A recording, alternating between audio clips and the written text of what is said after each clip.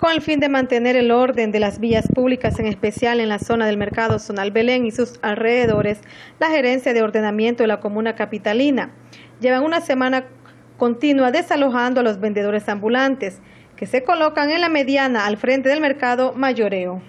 Al operativo que iniciamos el lunes pasado y el objetivo del operativo, tanto el lunes pasado como el de hoy, es poner orden en esta mediana del Boulevard del Norte, ya que había sido tomada por los vendedores ambulantes y por los eh, conductores de vehículos que de manera abusiva, si le podemos decir así, se eh, lo ocupan de parqueo, pues y esto no puede ser, es una mediana que no es para eso, ni para parqueo ni para venta de, ambulantes.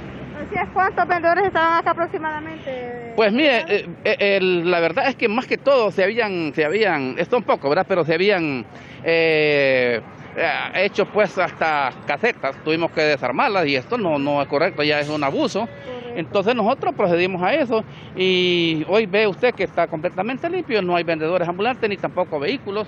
En toda la mediana, iniciando al frente del mercado, en mención y finalizando por donde está ubicada la clínica periférica del Seguro Social, se colocaban entre 200 a 300 vendedores todos los días según las autoridades. Y el problema es que dejan tirada la basura. Y esto puede provocar inundaciones en temporadas de invierno que estamos por experimentar. Definitivamente.